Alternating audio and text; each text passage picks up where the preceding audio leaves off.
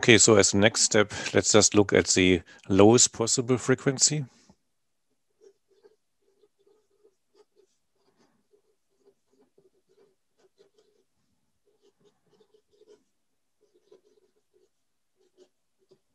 So what's the lowest possible, frequency?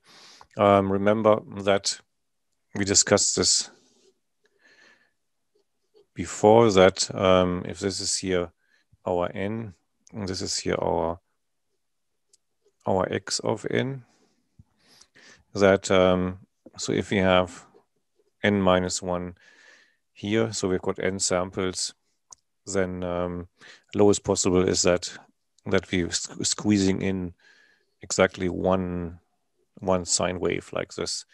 So that's a that's the lowest possible. Obviously, we could also use a cosine wave, which um, would go like that. Yeah. So so here, so either a sine or a cosine cosine wave. Um, so that's the lowest possible frequency. The um, so if you're looking at the um, at the uh, inverse Fourier transform, then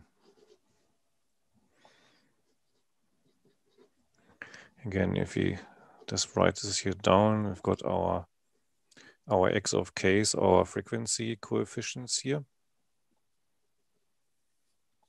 kn divided by n.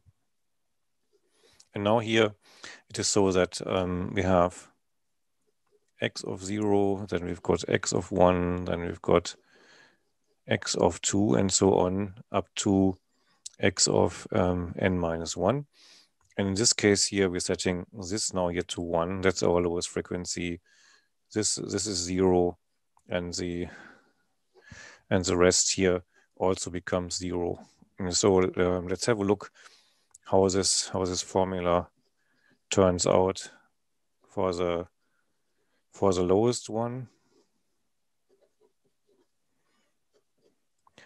So now we have um, just the just here the x x of one. That's the only one which is which is left. All the other ones are um, are zero, and um, so the x of one we we set this here here to one, and um, and then and then this multiplies here to e two j two pi, and then and then just the just uh, just the one here for the for the k. So this gives us a small n divided by by by big N. And so so we already see here that um, you know by by running here from from k to to n minus one, that this gives us exactly one one sine wave here because obviously this this here corresponds to zero and this here to two pi, and so and so here we are generating exactly one, one wave with that.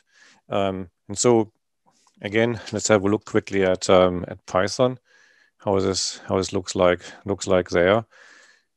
So um, let's get rid of this, of this here from the, from the previous clip and um, start from, from fresh. Let's create a empty, empty array of zeros so now we've got again loads of zeros, and now we are um, setting setting the second coefficient to one, and um, and doing the same. So xf uh, numpy fft i fft of of x, and um, so now that that looks much more dramatic. So we need to need to plot this now. Um,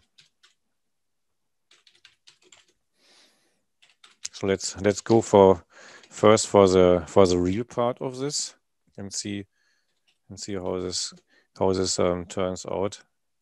And um, so here we see so the real part gives us a nice cosine wave, and um, as as predicted, it, it's exactly one one revolution. Yeah. So and um, remember, there's this division by n here, so it's scaled by by um, one over n and so it gives us 0.001 at the output here. And so, so let's have a look at um, at the at the imaginary part of this.